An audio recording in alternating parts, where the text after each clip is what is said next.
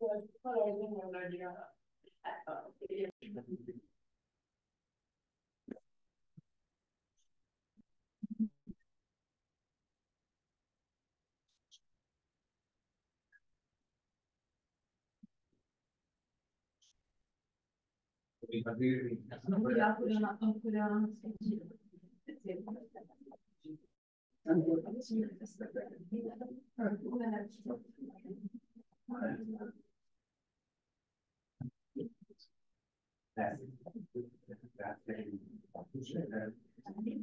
olyan nagyra.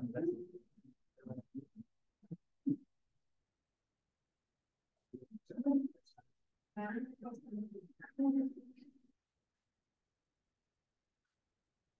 Köszönjük mindenkit az eheti KT szemináriumban, Csudel előadni, és a habilitációs hogy ilyen a szó, egy órában sok szeretettel üdvözlök mindenkit. Ez egy közös munka, vagy munkák voltak, vagy vannak, mert az egyiket már közben publikáció, két paper lényegében hasonló témával, picit más módszerrel, más fókusszal. Feltőnével közösen írtuk mind a kettőt, és dolgozunk a másodikon is még aktívan. Még az elsőben is látunk akár tovább lehet vinni más irányokba is, tehát hogy az is szívesen várok, hogy kap visszajelzésüket. És a, alapvetően az, az téma az az olimpiai rendezése járó kiugró olimpiai teljesítményvizsgál eltérő módszerekkel. Itt röviden majd bemutatnám, amikor a motiváció van, hogy ez pontosan mit akar, és miért pont ezt a témát választottam, vagy választottuk még a habilitációs előadásnak is, és hogy milyen szakirodalmi háttere van. Aztán a módszerekről meg a beszélek két különböző paperről használtuk, az adatok azok nagyjából ugyanazok voltak mind a két esetben, és végül pedig az eredmények a két uh, a megközelítés, és aztán összefoglalom az eredményeket. Ugye a sport közgazdaság tanít olyan Magyarországon ez egy eléggé felfutó és egy területről van szó. Most magamon kívül még ismerek, szóval egy kezemben meg tudom számolni nagyjából hány embert, aki próbál nemzetközi szinten is publikálni Magyarországról, tehát egy viszonylag egy frissült terület, és nagyon divers topikok vannak, szerintem minden, mindannyian különböző témákon dolgozunk, néha találkozunk, akkor publikálunk egy hasonló témában, de egy teljesen új terület, még egyébként a nemzetközi szakmában is így van, hiszen a folyiratok számában is egy két sportközgazdaságra van, ez fókuszban indexel. Az egyik az másfél éve indult el, a második, mert látták, hogy már akkor az igény, hogy muszáj növekedni. Tehát egy elég dinamikusan, mondom, dinamikusan növekvő van Egyébként a sportmenedzsment, ami egy sokkal régebbi területnek tudható be, ott már azért több folyirat van, és ott régebben a publikáltak, de most mondom, most már inkább a sportközösségi vonal kezdik szétválni, és jobb elkülöníteni de még azért mindig sok átfedés van a kettő között. Az olimpiák tulajdonképpen ez a PHD-nak is volt egy, nem ez a témák, egy másik téma volt a fókusza. Ez egy nagyon egyszerű oka volt ennek, mert ugye az olimpiákról állt rendelkezésre adat. A, egyébként a múlás volt irányításról bármi szervez mentünk, hogy adatot próbáljuk kérni, tehát visszapattantunk, és így akkor maradt az, ami nyilvánosan elérhető, viszonylag jól kutatható, nagyobb mennyiségű adat áll rendelkezésre, és vannak azért még olyan területek, ahol lehet új dolgokat is találni, hiába egyébként az adott struktúra mindenki számára rendelkezésre. És adta volna magát az a kérdés, hogy akkor mivel jár egy olimpiai rendezések közgazdaságilag nézve, hiszen ez egy mindig egy forró topik, ugye rengeteg politikai téma, publikáció, politikai motivált publikáció születik ebben. Tehát azt kellett látnunk, hogy egyébként az elmúlt tíz évben nagyjából egy irányba mutat minden, hogy igazából nincs hatása. Egy gazdasági hatása nincs egy olimpiai rendezésének, és hogy kevés, nem láttuk azt a potenciált ebben, hogy, hogy bejelenjünk ebben mélyebben, hiszen nem nagyon tudnánk olyan mutatni, nem volt Magyarország rendezési olimpia, tehát nem lennének olyan külön, különleges adataink, ami miatt valami újat tudnánk hozzátenni ez a szakprogramhoz, és hogy azóta is bármi készül, általában negatív hatás, ami egy-egy olimpia esetében jobban körülható, de nagy általánosságban nézve azt hogy nincs pozitív hatás, de cserébe sok esetben negatív sincs, ami azt jelenti, hogy a felépült létesítmények azért nem húzták vissza, hogy valamilyen pörgették a gazdaságot, hogy tudták kompenzálni. És akkor megnézzük, mi ez a másik terület, amivel foglalkoznak legtöbben, az pedig az országok teljesítmény magyarázó tényezők, hiszen az olimpia ez egy érdekes piac, az országok versenyezik utána az érmekért, és azt lehet látni, van egy irgalmatlan kínálati oldal, hisz az érmek száma nagyjából változatlan, nagyon lassan bővül egyébként az olimpiai program, vagy alapul az olimpiai program, de nagyjából egy lassú növekedés mellett ezek egy változatlanságú beszélünk, miközben a másik oldalra, a kereseti oldalról egyre több ország investál egyre több pénzt, különböző motivációk miatt, hogy több érmet tudjanak nyerni. És ez egy igen érdekes helyzetet teremtett, amit már 2003-ban Simon Shibley az úgy foglalt össze, a sikerára megnőtt, hiszen ahhoz, hogy te folyamatosan ugyanazt az ilyen számot tud hozni olimpiáról olimpiára, neked egyre többet kell csak abban investálnod, hogy ugyanazt a sikerességet tartani. Tehát egyfajta ilyen teljesen luxus ország és egy átalakult piaci hatást lehet erről látni.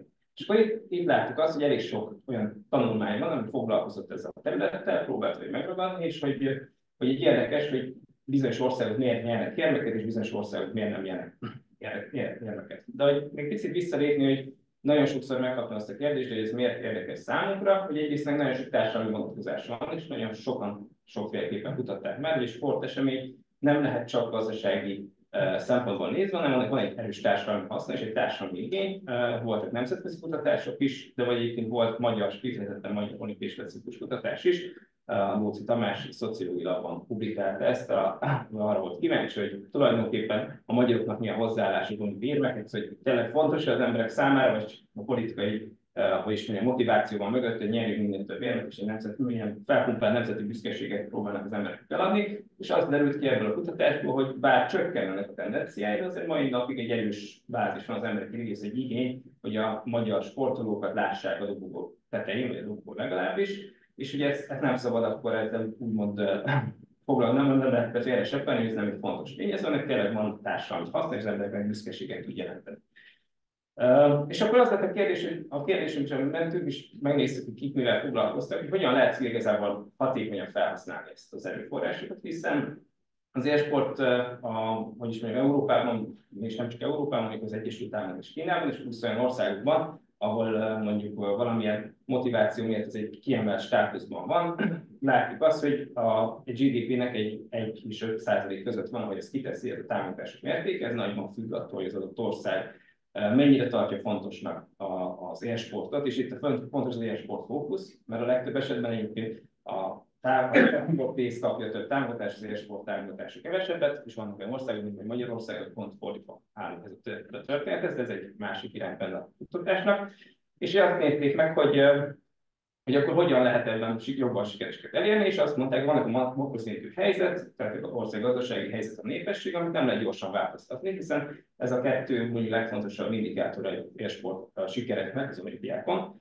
Tehát muszáj valami sportirányításra kezdeni, és a sportirányításban lehet igazából hatásokat elérni. És hát onnan jött az egész kutatás az ötlet, hogy igazából a, a hazai rendezés olimpia az pont egy sportirányítási eszköz, hiszen azt is lehet látni, hogy a hazai a országnak a sportolói csapatai az olimpiákon jelentős több érmet nyernek egyébként.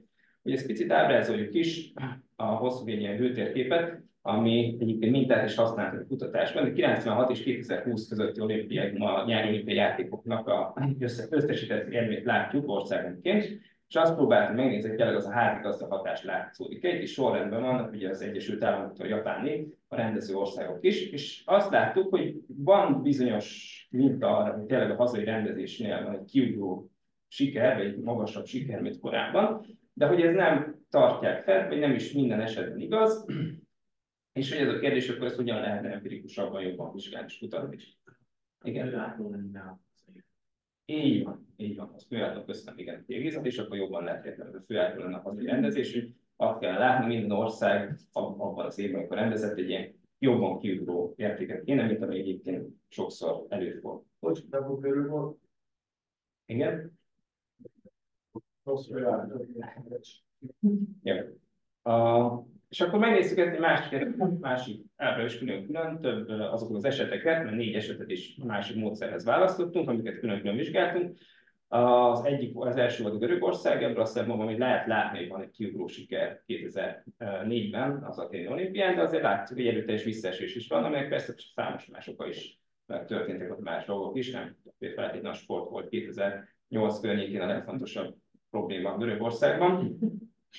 2008-ban látjuk, hogy Kína is hasonlóan kiugró teljesítményt tudott elérni, viszont ez a teljesítmény, ha csak az érmek számát nézzük, ez viszonylag a rövid távú marad. Még a London olimpia volt is a briteknek, ami egy ők voltak az egyetlen egyébként a történelmen eddig, akik a hazai rendezés követő olimpián a hazai rendezéshez képest még több érmet tudtak nyerni, összesítésben, nem mindegy egyébként a színe, ami meglepő volt, de hogy a, ismerve a brit sportirányítás rendszert, amit 96-ban teljesen átalakítottak, egy, ez egy, hogy is mondjam, lépcső volt, a, nem az volt a cél, hogy egy sport, egy olimpiát rendezünk, hanem az volt a cél, hogy az olimpiai rendezés az bekapcsolódjon egy hosszabb távú sport irányítás, sportfejlesztési programba.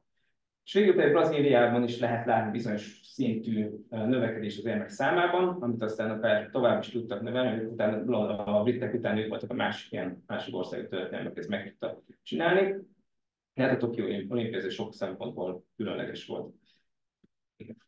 Vannak ilyen, ilyen olimpiai pontszerzések, történetek, ilyen hatodik helyezési minősítések. Tudom, hogy Brazíliánál már vannak ilyen gömbölyítási kérdések is, tehát nem látom, hogy is ilyen nyilván kevesebb ilyen, mint Brazíliánál. De ha megnézzük, hogy applikáljunk meg, akkor még jobban látszik az, hogy nem látszik A köszi, igen, a ezt nem pont nem ebben a tanulmányban, de más tanulmányban használtuk részletesebbeket, tehát 8 helyezést meg most már 16-ra is visszamennek, hiszen az utalpótlásport feljövők az nem várják azt, hogy rögtön beszereznek, de azért a döntőbe, vagy a döntők közelébe oda tudnak kerülni, és egy ilyeneket is néztünk már egyébként. Mert az, az érem, ez az éremre fókuszál, a házigazda hatás az éremről szól alapvetően, és az is majd lehet részletezni, hogy pontosan milyen a hátsó. De hogy egyébként igaz ez, hogy nem feltétlenül csak az érvekig érdemes nézni további helyeket is. És ebben a szakirodalomban van egy ilyen uh, elég erős hatás, ami bizonyított volt nagyon sokáig is egyértelmű volt, hogy aki olimpiát rendez, az kiugró uh, érmszerzést fog nyerni, de aztán most voltak olyan tanulmányok, akik azt kezdték el pedzegetni, tehát előbb itt hagytam a saját tanulmányokat, és ami az pont erről szól az első feléről a előadásomnak, ami nem ennyire egyértelmű már, mint régen volt, és ennek a hatásnak számos uh, oka van. Például, hogy minden sportágban automatikusan kvalifikál a sportoló az a hazai rendezés, ami óriási előny, és így a sportolóknak nem arra kell koncentrálnia, feltétlen, hogy a, ki tudjanak jutni, megnyerik a hazai válogatót, aztán nemzetközi esemény, és szerezek a kvalifikációt, hanem ezeket mind el tudják ugorni, és egy, egy egy arra tudnak koncentrálni, hogy az olimpián legjobb teljesítményt tudják nyújtani. Mert hogy annyira erős a verseny bizonyos sportágban, hogy csak egy példa erre, hogy a kajak kenúban például azt szokták mondani, hogy a legerősebb verseny az a magyarországi válogató. Tehát, hogy a magyarországi válogató megnyeri, az nem feltétlenül lesz top formában az olimpián, mert neki a válogató, válogató fontosabb, a válogató nélkül nem tudnak jutni az olimpiára. Ez, az a, ez a kettősség az egészben, hogy az olimpián hiába nyertünk a válogatót, nem fogja a legjobbat nyújtani, hiszen a formidőszítés az egy évvel ezelőtt volt válogatóra, és ez ugyanúgy igaz egyébként a Kínában azt mondtam, hogy a műugrásnál ugye ez a helyzet áll fenn, és ezzel próbálnak valamit kezdeni, hogy ez így ország szempontjából nem túl ideális, mert nem feltétlenül az fog kijutni, aki az olimpián a legjobb tudja a, elérni, és vagy a legjobb teljesítményt tudja folytani. És akkor azt, azt szerettünk volna utána ezt jobban megnézni, hogy akkor picit meg más vagy más módszerekkel, az egyik kutatások, megvizsgáljuk ezt, hogy hogyan, hogyan is néz ki ez a házigazda hatás, tényleg valóban igaz-e, hogyha bárki, aki rendez az automatikusan meg tudja növelni az a számát, valamit, hogy van egy rendezés előtti vagy utáni, tehát hogy ez egy, nem csak egy egyszerű alkalomról beszélhetünk, hanem van ennek olyan elősutó hatása is, ami nyomon követhető. Két eltérő módszert használtunk erre, az egyik egy regressziós elemzés van eladás soron, amit az az első be fogom mutatni, a másik egy szintetikus kontroll módszert használtunk, azt hittük először mindig az első használjuk, utána találtuk meg a barbózáiknak a, a paperét, ami egyébként még mindig egy working paper, 16-ban de nem publikálták még, de aztán rájöttünk, hogy sok szempontból nem jól használták a módszert, és hogy az eredmények nem feltétlenül megbízhatóak. Innentől kezdve egyébként van egy típus még, hogy ezt egyébként folytassuk és befejezzük. Hogy a szakmai háttér csak gyorsan bemutassam, hogy ez mennyire egy nagyon, hogy is mondjam, nagyon kutatott terület, hogy mi magyaráz egy ország sikerét, egy ország olimpiai számát, rengeteg eh, tanulmány van, csak a főbbeket emeltem ki, ennél sokkal, sokkal több van ebben a témában. A GDP, egyfőre GDP az a fő indikátor egy ország sikerének, a másik a népesség, és a házigazda nem változó, hogy amíg agregáltan használják ezt, egy egyértelmű kimutatható, egyértelmű hatása van, hogy uh, több érmet nyer.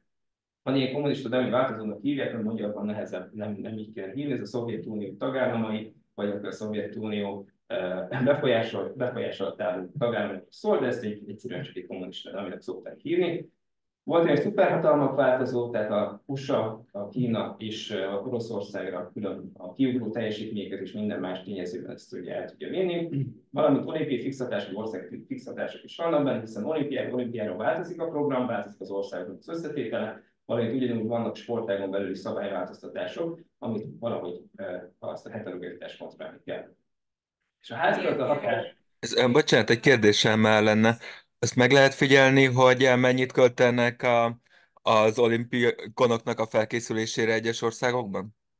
Nincs erre megbízható adat. Egy, egy tanulmány volt, aki próbálkozott ezzel, hogy leszűkítette azt, ő azt mondta, hogy csak azokat az országokat figyeli, akik az elmúlt 10 évben nyert olimpiai érmet, vagy elmúlt 20 évben, és így a mintát le tudta, nem tudom, tizedelni nagyjából, és akkor ő róla tudott már egy elég jól össze tudta szedni ezeket az adatokat, de egyébként az összes országra vonatkozóan nincsen megbízható adat. Pedig ez fontos lenne. Erre nem proxikkal próbálkoztak, de semmelyik nem volt, nem működött. Tehát, hogy ez egy hátulütője ennek az egész területnek, mert hogy itt van egy erő, teljes sajtóorganizás abban, igen, hogy ki mennyit költ. Ez a GDP tulajdonképpen ezt próbálja meg, megragadni, de hogy nem, ez ennél jobban nem tudtak eddig mondani. Oké, okay, köszi. A házigazda ez, ami fontos, hogy sportágonként eltérő, a sportunk és sportágonként eltérő, ami nagyon vicces, de hogy ezt így mai napig győzködni kell embereket, akik élsportolók is voltak, és nem, nem látják így, de hogy statisztikailag vannak bizonyos sportágokon, semmilyen házigazda hatás nincs, tehát itt egy vizes VB, atlétika VB, amikor idehozták Magyarországra, akkor előtte várható volt, hogy senki nem fog több érvet nyerni, hiszen ezt nagyon szépen bemutatták, hogy ha nincsen bírói döntéshozatal a folyamatban, akkor onnantól kezdve nem, nincsen semmilyen hazai pályán szerepel. A bíró az egy fontos szereplőnek történet. Igen, hát ugye az a fontosabb, hogy egy csomó ember szurkol neki. Sportokat nem érdekli. ő arra koncentrál, amit, amit éppen csinál, és hogy ki tudja zárni a Ez sportolónak az, hogy mennyien bíztatják, az a Semmi, semmi. Hát itt a, a Forestéknek a tanulmánya az, az nagyon szépen végbe, tehát 16 sportág volt, hogy megvizsgáltak, és ebből egyértelműen lehetett látni, hogy ahol van bíró, vagy bármilyen bíró döntéshozatal, ott van a hazai pályelménye, ahol meg nincs, ott egyébként nem mert hogy ez összefügg, mondjuk a vízilabdán meg a fociban van bíró, de hát azért azt nem, senki nem gondolja, hogy nincs szerepe, hogy mennyi a hazai nézők arány, én nem tudom, hogy a, a Covid alatt volt, hogy ezt meg tudták nézni csapatsportágokban, hogy akkor eltűnt a hazai pálya előnye, mert szurkolók nem voltak ott, de aztán pont ezen gondolkodtam majd, meg feltette a kérdés délután órán, és arra volt valami válaszok is, hogy miért nem a játékosokat motiválja, és miért, miért a bíró a központi elem, csak nem emlékszem, hogy mi volt ez, amit szét tudták választani. Többség, amiről nem. Lehet, hogy van, hogy valószínűleg van országonként érhetek egy mennyire félnek a bírók. De hogy ez fontos, és sportágonként eltérő, tehát hogy nem lehet azt mondani, hogy nem feleség, hogy ebből a szempontból pont egy atlétika VB, vagy egy vizes VB nem a legjobb választás idehozni, mert hogy nem fognak a magyarok több érmet nyerni.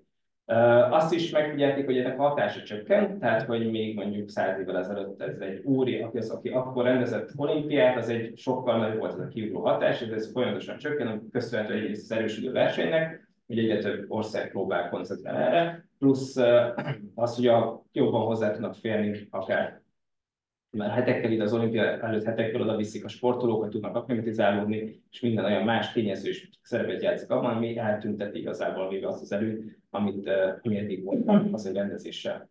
Uh, és ami lehet látni, hogy a csak rövid távon növekedés, tehát hogy ami előtte lehet már valamit látni az olimpia előtt, hiszen már nem csak egy ciklusban gondolkodunk, hanem több olimpiai ciklussal pályázat az legalább kettő vagy három olimpiai ciklussal az kiderült eredménye.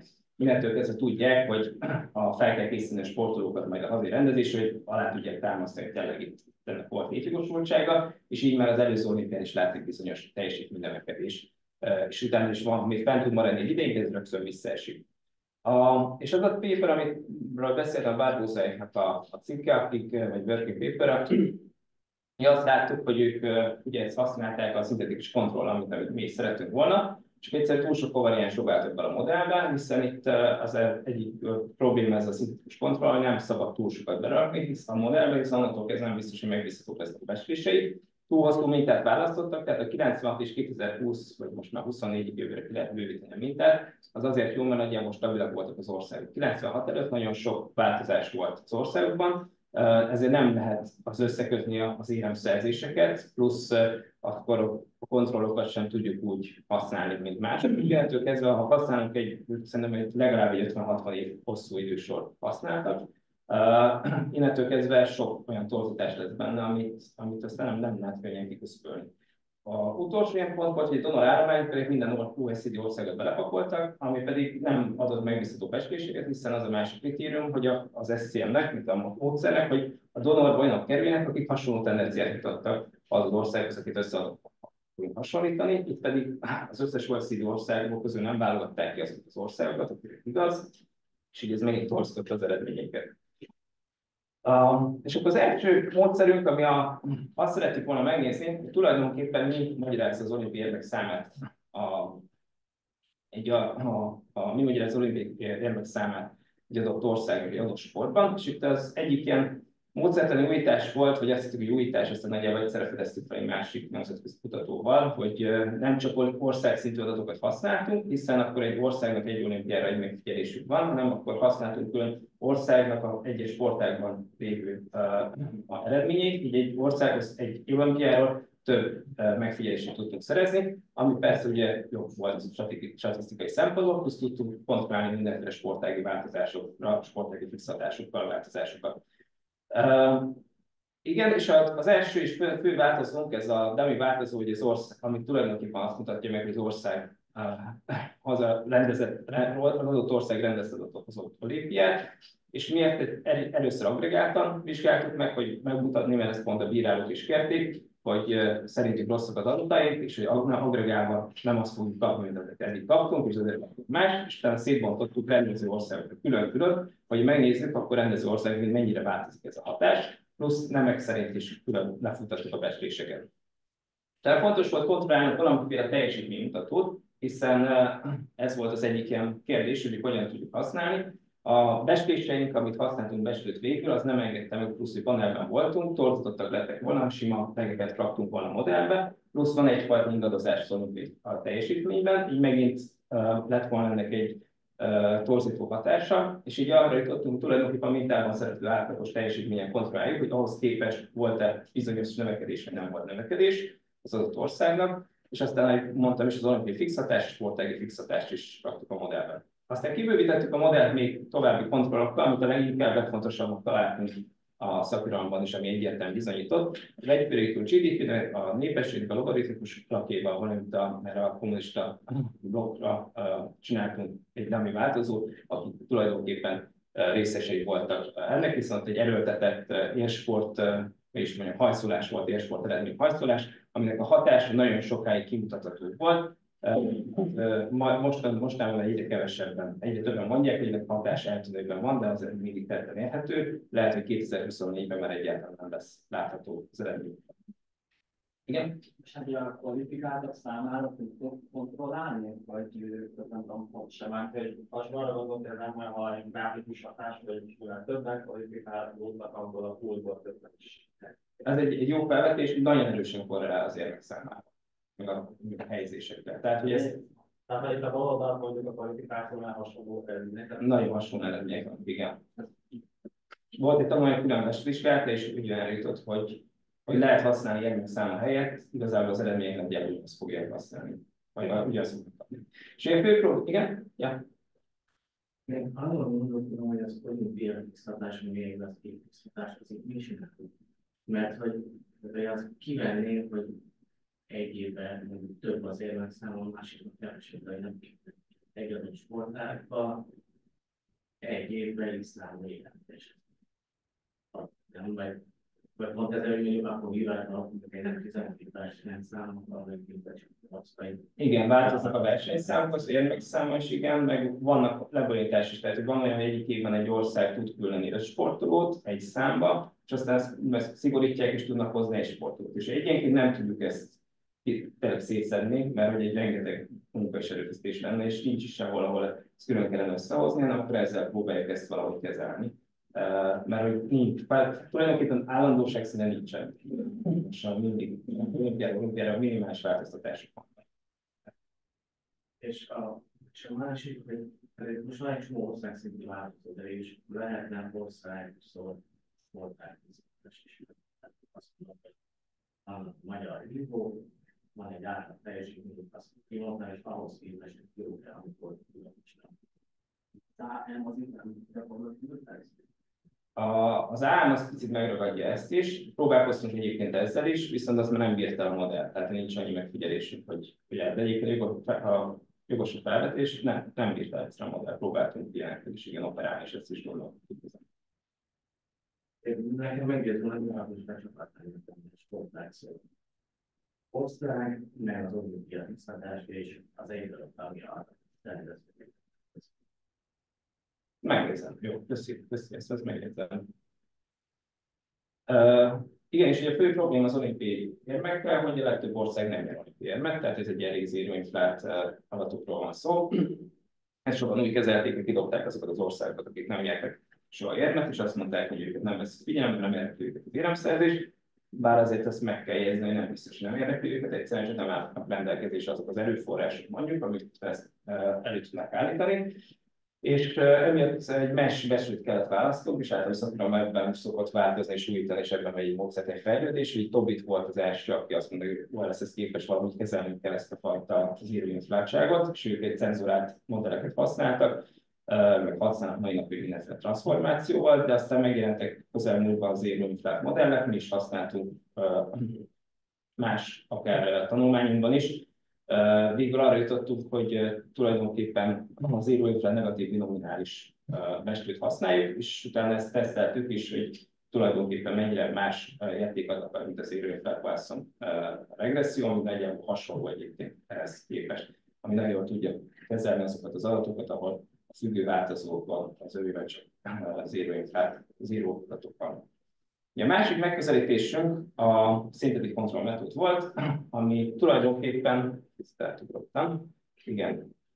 Hogy egy ilyen részletesebb leírást hoztam róla, de hogy arról szól, hogy van nekünk egy esetünk, itt az eset van az, amikor az olimpiát rendez egy adott ország, és az adott országhoz tulajdonképpen egy szintetikus kontrollt, mint hogy az adott ország nem rendezett volna olimpiát, akkor mi történt volna a teljesítményével. És arra vagyunk kíváncsiak, hogy a kettő között van egy különbség, és az a szintetikus kontroll pedig úgy választjuk meg, hogy ezek az országokat, akik egyébként a rendezés előtt nagyon hasonlóan viselkedtek, mondjuk hasonló növekedést mutattak érem szerzésben, mint az adott rendező ország, vagy hasonló szinten voltak eredményesek, és akkor belül tudunk hogy különböző súlyozó módszertan súlyozni az országok teljesítményét, és készít egy szintetikus kontrollt, és akkor onnantól kezdve ezt tudjuk hasonlítani, hogy volt-e bármi hatásra ennek, hogy hogyan viselkedett volna az ország, ha nem rendez olimpiát.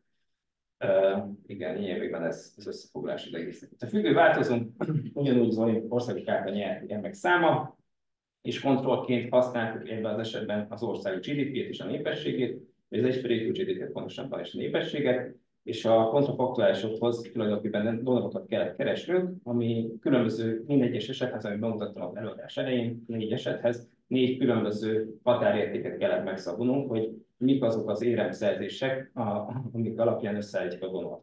Ez hogyan is nézett ki, ez pont a dia aljára került, hogy az Atén olimpiához azokat, azokat vettük Banonolpolba, akik egyébként 22 és 52 érmet nyertek a megelőző időszakban, ami a mintában szerepel. A Peking olimpiához a 121 és 521, tehát itt már egy jelentősebb érmeszerző ország voltak. Londonihoz hasonlóan nagyobb határértéket kellett megadnunk, és ő van a, ennél egy picit kevesebbet, és a Donald úgy tudtuk beállítani, akik egyébként az adott időszakban ezt az én a kategóriát, akkor ők kerültek a Donald poolba, és általában ezek hasonló egyébként tendenciát is mutattak teljesítményben.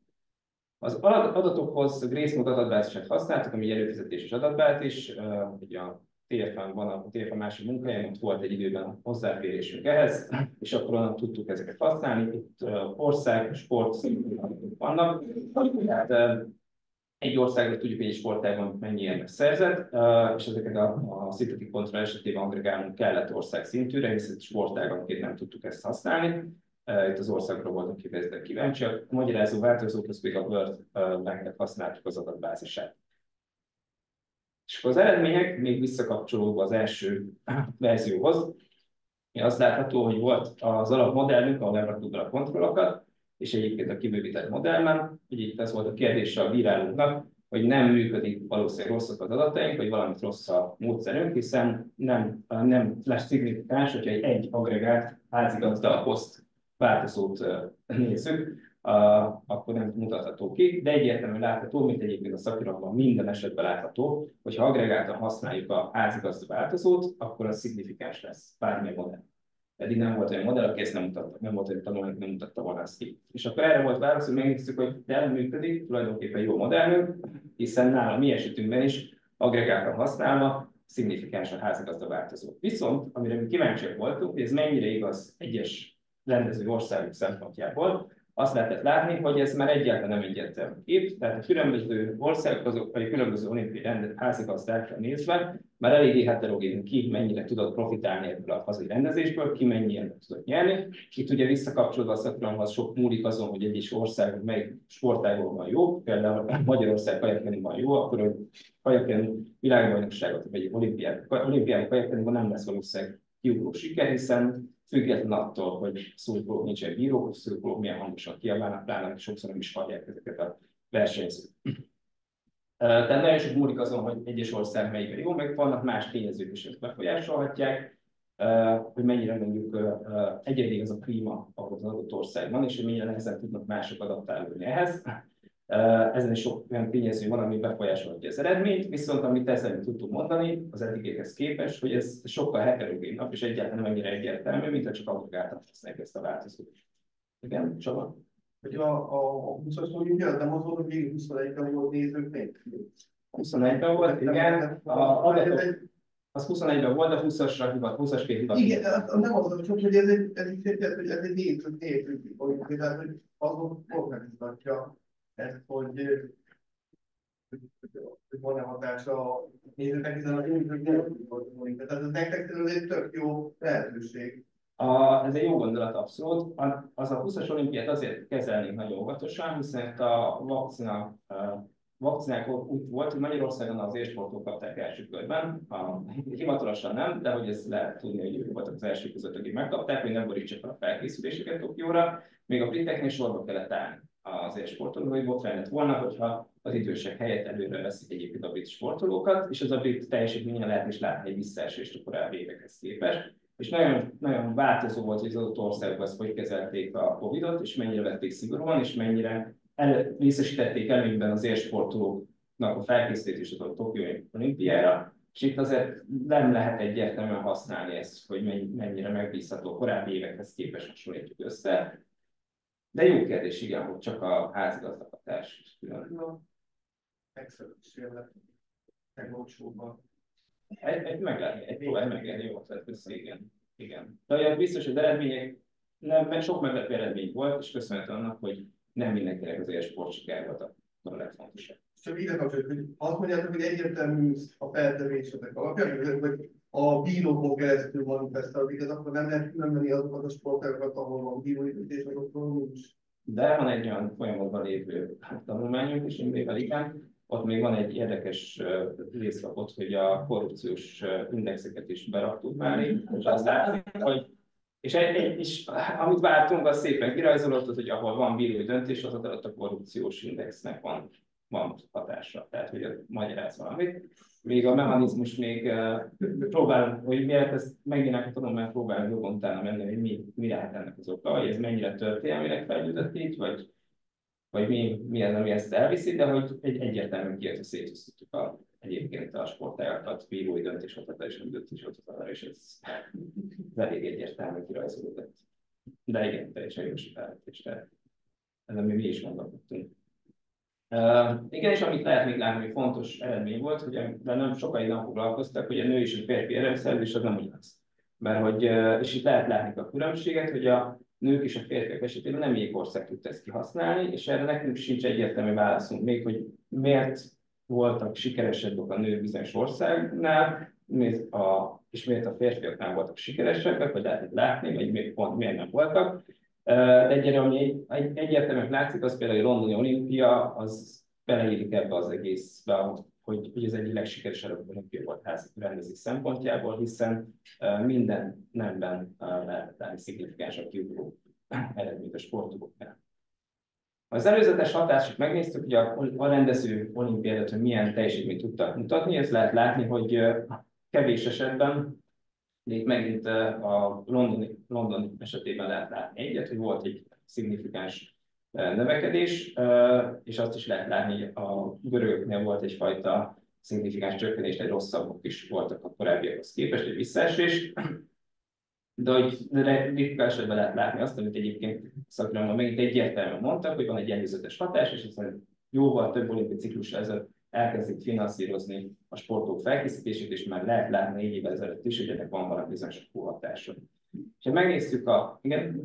A számlélónak az utolsó sorban a hárítés, hogy a totál az kisebb, mint a, a mert, a Bocsi, mert mint a teljes hatás az kisebb a, a szétbontott hatásoknál, akkor most Ja, jó, bocsánat, bocsánat, igen, rosszasan.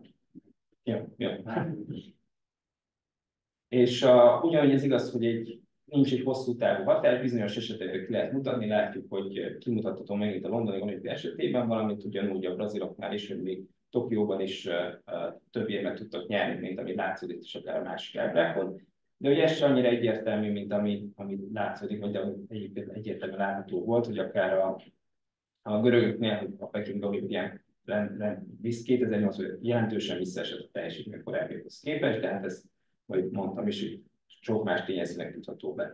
Ami ebből a szempontból ez újdonság volt, az, hogy mi több részletesebb adatokat tudtunk dolgozni, hiszen nem csak ország, hanem sportági szintű adatokat is használtunk, és hogy tudtunk több kontroll berakni, mert eddig az ország szintű fixhatások voltak, amiket használtak, és itt több olyan heterogenitást tudtunk kontrollálni, hogy egyébként korábban nem, és ez még az egyik olyan, ami miatt lehetséges, hogy sőt, tehát tudjuk is, hogy kivetnék sportfixatásokat, akkor az is sokkal több csillagi lenne meg. Viszont ez fontos figyelembe venni, hogy a pályázó országnak beleszólása van a programba, tehát hogy tud olyan sportágokat belerakni, amiben ő ügyes, és innentől kezdve ezt ki tudjuk szülni. Tehát innentől kezdve az, annak mondható, hogyha csak az érmek számát hasonlítjuk össze, akkor igen, van növekedés, de egyrészt azért van, mert mindenhova tudnak kvalifikálni, plusz beleszólnak az olimpiai programba, és ők úgy állíthatják össze, vagy valamilyen úgy állíthatják össze, ami nekik ez kedvező. Egyébként ezt meg is néztük utána, és volt olyan ország, az nagyon tudta használni, a britek voltak például a legjobbak, hogy ők a 3-4-20 évnek tudtak csak abból szerezni, amiket ők raktak, rak,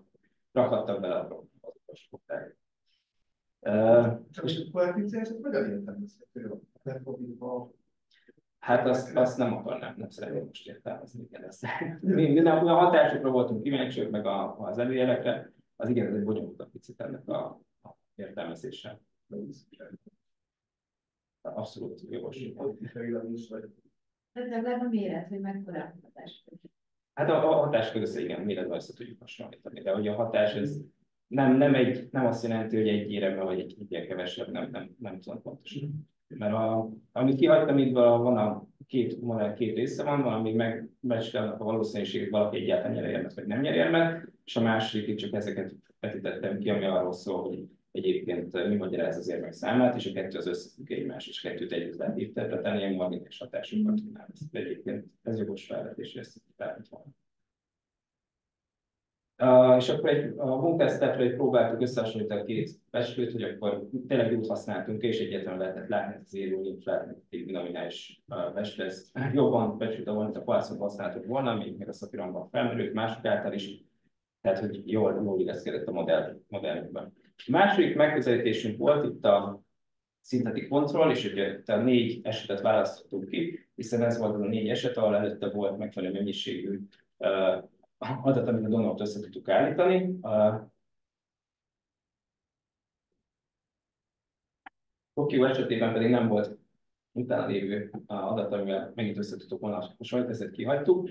És itt lehet látni különböző donorok, hogy az egyes donorok kik kerültek be, melyik országok, és hogy milyen súlya becsülte meg őket a, a modell, és azt is lehet látni, hogy igazából a becslések viszonylag jók, ebből a szempontból itt a lehet azt mondani, hogy majdnem minden esetben ilyen fél egy érem hiba határa működik, kivéve egyébként a London olimpia esetében, itt nagyon nehezen tudtunk találni megfelelő donorokat. Egyrészt az, amit a, a britek 96-ban nyertek egyetlen egy olimpia aranyat, és utána amilyen növekedést produkáltak, nincs olyan ország, ezt az elmúlt 20 évben, vagy tudtam volna produkálni ezt a szintű teljesítmény növekedést, és így az ő esetükben volt legrosszabb esés. Igen? Amikor szintetikus kontrollál van a, a briteknek, hogy megnézzük házigazgatás nélkül. Ez 43%-ban Japán, aki házigazda volt egy előtte, ez nem okoz valami Ezen mi is gondolkodtunk, igen, és a probléma az, hogy ezeket kivennék a donorokból, ezeket az országokat, akkor igazán nem maradna, nagyon kevés lenne rossz a, a jó donor. Hát egy, egy, egy érdekes lenne az, hogy akkor rakjuk be Japán helyére a szintetikus kontrollját. Uh-huh. Ezt meg lehet próbálni. próbálni. És akkor megszabadulunk, hogy milyen házigazgatást vittek be. Ez jó köszi, ez jó. Ez jó ötlet, igen. Japánok meg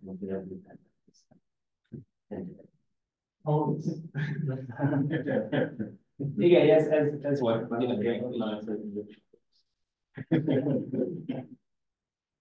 De ezt, ezt meg lehet, igen, végül. Azt ki lehet próbálni egyébként. Hogy ez a szintetikus kontroll, és felhelyettesíteni ezek az országokkal.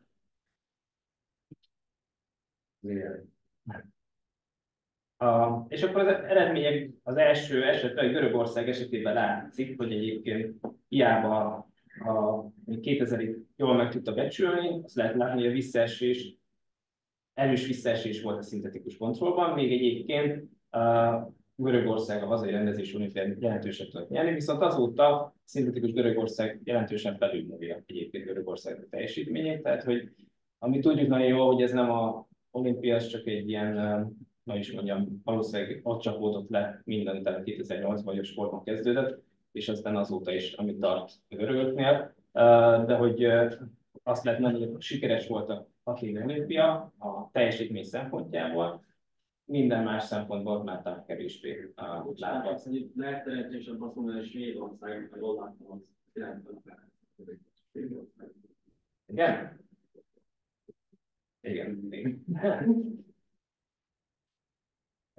Igen, a svéd, igen, igen. De hogy ez csak az, egy, az első időszakra, a többi időszakra, a többi, többit is felhasználja a pesgő egyébként.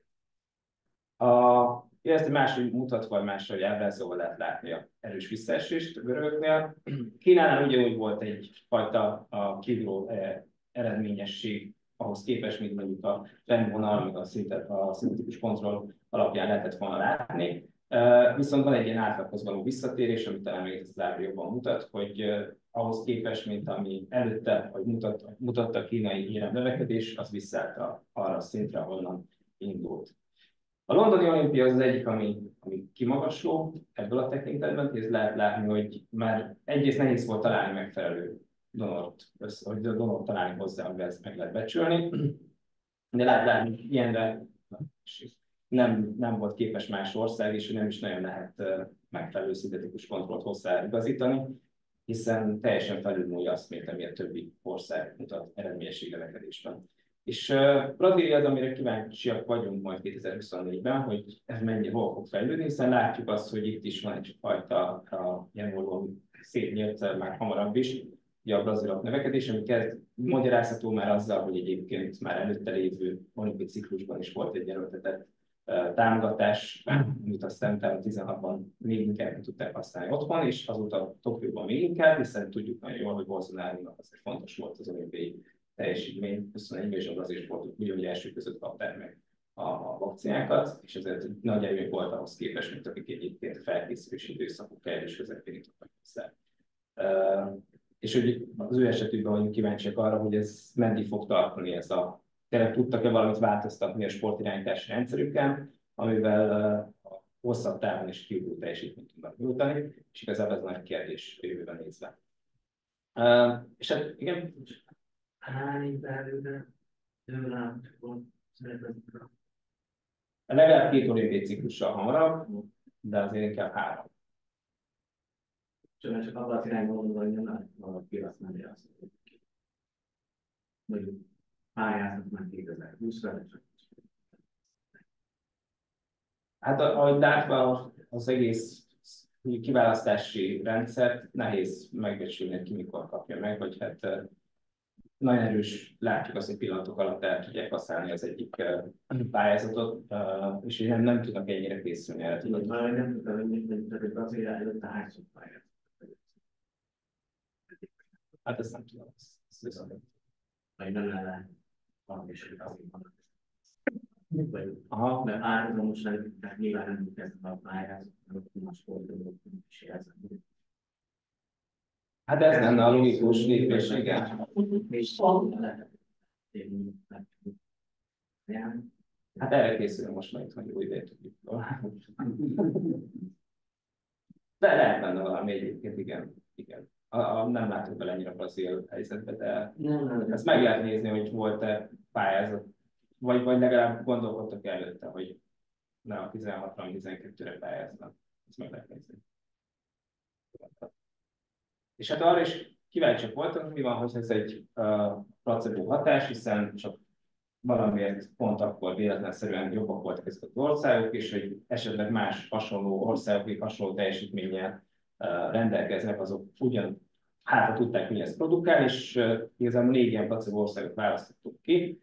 Az Athénium az Bulgáriát, Peking az Oroszországot, a az Franciaország, a Rio Kanadát, és ilyen szelekciós kritériumok azok voltak, hogy egyrészt hasonló súlyjal rendelkeznek a szinteti kontrollos vestésekben, és hogy a területi távolság volt egy fontos pont, volt olyan tanulmány, hogy talált erre magyarázatot, hogy a hazai olimpia miatt, aki a környező országok a klíma miatt, de ez sem volt egyértelmű bizonyított, mert rengeteg kontroll kihagyott a modellből, tehát hogy ez az, azért sem vette utána talán senki, de hogy ő azt mondja az érvet, hogy ennek is lehet hatása, hogy valaki jobban tud teljesíteni, még a szomszéd ország is, van, de kulturális távolság is lehet, hogy könnyebben tudnak adaptálni egy ilyen hely. Ezek voltak, amik miatt ezt a négy országot választottuk ki. És azt lehet látni, hogy Bulgáriánál egyértelműen nem volt semmilyen kiugró, vagy hát ha volt is, akkor egy minimális volt, de hasonlóan mondjuk a Görögországhoz ők is hasonló évet mutattak utána. Uh, Oroszországnál egyrészt nehéz volt megbecsülni, hogy mint akár a londonián, hiszen kevés ország, aki hasonlóan sok érmet mint Oroszország, viszont is se lehet látni azt, hogy uh, 2008-ban hogy nagyobb teljesítményt nyújtottak volna, mint egy szintetikus uh, Oroszország, de hát mondom, itt azért a, elég rosszak a, a meslők. Franciaország esetében a, lehet látni bizonyos fajta nagyobb növekedés, vagy nagyobb éremszerzés, mint egyébként a szintetikus Franciaország mutatna London olimpián. Azért a távolság az viszonylag is hasonló éghajlat, azért befolyásolhatja, a kulturális távolság, minimális kulturális távolság is, de hogy itt sem teljesen tökéletes a beszélünk. És azt lehet látni, hogy Kanada is, mint hogyha többet jobban tudott volna teljesíteni a hazai rendezés során, nem is hazai, hanem a Rio rendezés során, mint egyébként a szintetikus mutatja, de itt is ez egy viszonylag rosszabb esik. Hiszen az olimpia az, egyik hátrányai nagyon heterogén, nagyon hektikus az adatok, nagyon heterogének, és egyik olimpia másik, hirtelen sokat tudnak változni. Bizony, akár egy sportnak kiesésre gondolhatunk Magyarország is hosszú Katinkára, vagy közel Nautára, vagy 16 után az ő hiányokat azért a magyar sportidítás megsiratta megsiratja mai napig, hogyha mi is fog medencébe szállni, mint látjuk hírekben is, tehát hogy ezért sok múlik egy-egy ilyen sportolón, emiatt pedig sokszor nehéz jó modelleket készíteni ezekre a uh, technikus adatokra. És hát ha összefoglalom az egészségeket, azt lehet látni, hogy a házigazda országok több érmet nyert rendezett olimpiákon, ez a ház, ez a hatás nagyon a rendező országtól függ, tehát nem az van, amit az eddig mondtak, hogy aki rendez, az biztos, hogy többet nyer, hanem eléggé változik azért, ha az pláne a szép pontjuk nemek szerint egyébként teszik az adatokat. És hogy jelentős különbség van férfi és női szereplés között a hazai rendezési olimpián, aminek a okait egyelőre nem tudjuk, és ez, ez nem is értjük teljesen pontosan, hogy ez miért van. Valószínűleg eltérő lehet esetleg az egy országonként, hogy a különböző nemek szerint a sporthoz való hozzáférés, bár ezek azért többnyire ország voltak, abban nincsen feltétlenül probléma, vagy inkább az, hogy a női sport az még nagyobb támog, többet jelentett egy támogatás az rendezvési előtt, mint mi a férfi sportolóknál, ahol zömében azért azt lehet látni, hogy több érmet tudtak nyerni sokáig a férfiak. Most van az, hogy nagyjából talán 24 azt tudom, hogy egyforma az érmek száma szerint. Tehát, eddig a férfiak több érmet tudtak nyerni. És a hatások több fajta forrása van. Itt az, hogy különböző, hogy mi, mi, mi okozza pontosan ezt a házigazda hatást, ez nem egyértelmű, és ezt nem is tudjuk nagyon mérni és bizonyítani. Azt látjuk, hogy rendezés előtti hatás csak Brazília esetében lehet látni két módszerrel, tehát hogy hamarabb elkezdődött egyfajta teljesítő növekedés, és a rendezés után Görögország kivételében minden esetben volt egy rövid távú hatás, és volt egy hosszabb távú hatás Nagy-Britannia és Brazília esetén, Görögországban pedig egy recesszió is szerepet játszott. És itt a fontos következtetés sportjegyek számára, hogyha azt akarjuk látni, hogy itt a híremszerzés fontos, azt kell megnézni, hogy mit csináltak a britek, mit csináltak a brazilok egyébként, hiszen azt lehet látni, hogy ők nem csak rendezték egy olimpiát, nem is akkor tudtak profitálni érvek szempontjából, hanem utána ezt a következő olimpián is fel tudták tartani, és tovább tudták akár növelni. És mi magyarázhatja ezt a, a, a teljesítményugrás, hiszen ez lehet egy fontos ilyen sportirányítási uh, implikáció az egész kutatásunknak. A, ami egyébként fontos, és lehet hangsúlyozni, hogy egy olimpiai rendezés az általában az egyszerű. Kiugró hatással vagy teljesítmény növekedéssel járhat. Van ennek társadalmi pozitív hatása, ha azt látjuk, hogy nincsen gazdasági, negatív gazdasági következmény, akkor igazából ez egy pozitív befektetés lehet, és jó nézzük. Persze megint hangsúlyozom, hogy itt a tanulmány vizsgáltak, ezért sok esetben találtak negatív gazdasági hatást is. Ez nagyon függ attól, hogy az adott ország hogyan áll egyébként egy ilyen gigaméretű projektnek az elszámolásához.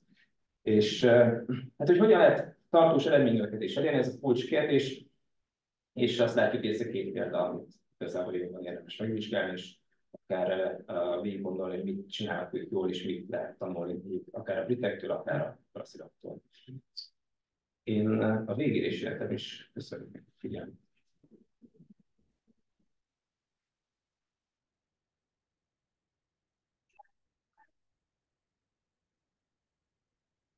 De mi kíváncsiságot kérdezni, hogy ha, ha jól értem, tehát makrohatás általában nincsen gazdasági, hogy újraelosztási hatásokban nem olvastál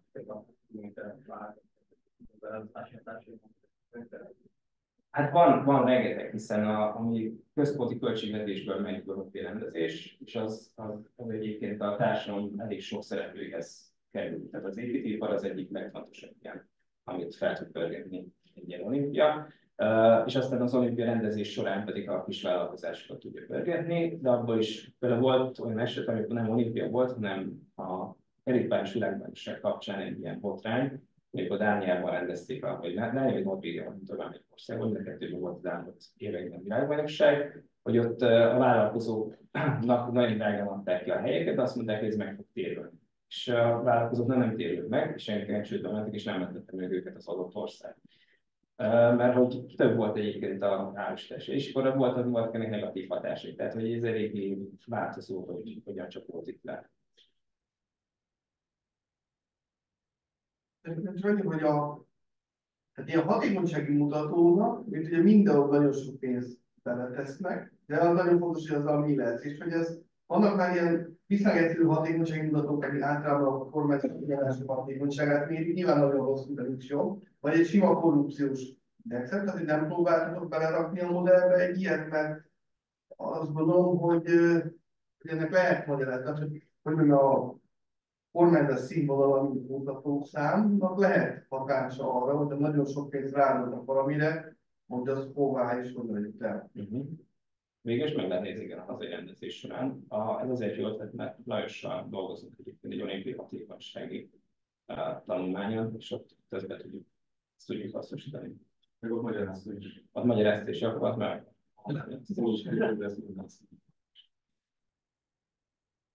Igen? Arról van információ, hogy ezt vizsgáltak, hogy ezt az infrastruktúrát, az olimpiai infrastruktúrát, ezt fölépítettek, ezt később hogyan sikerült hasznosítani.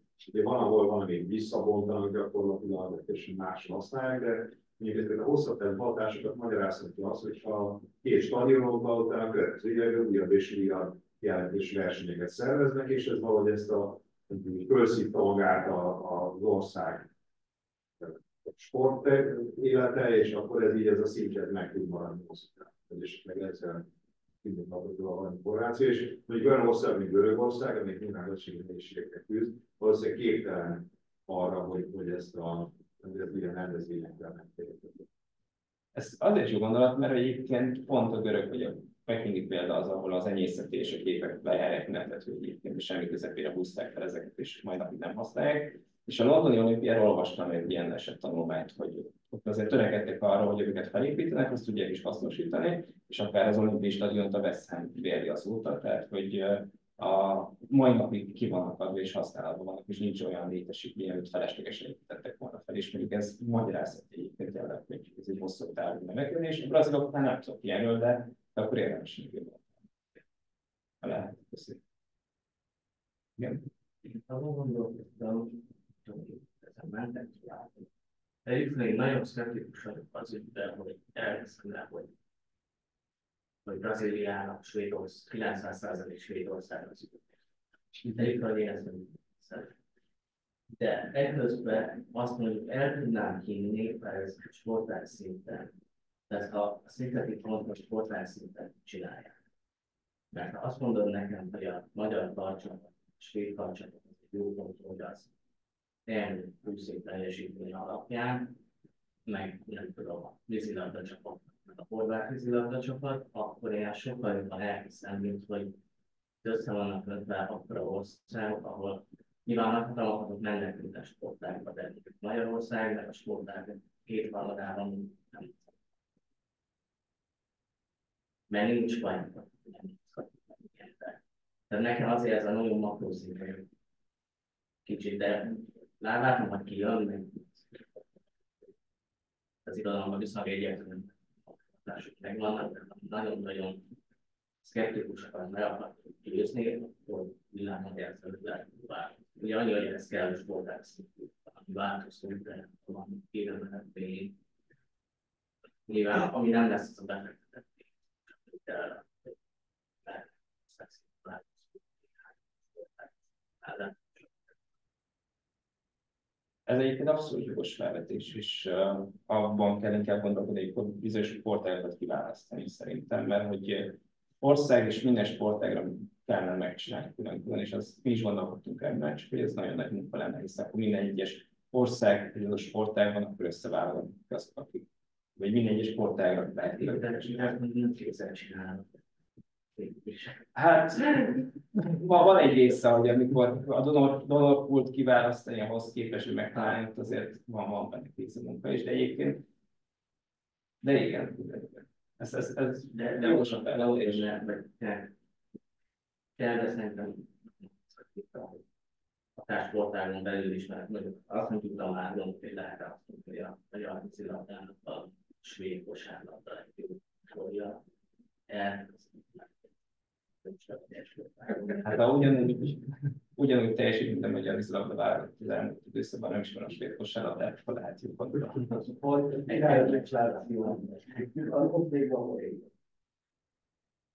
De jó felvetés veszik.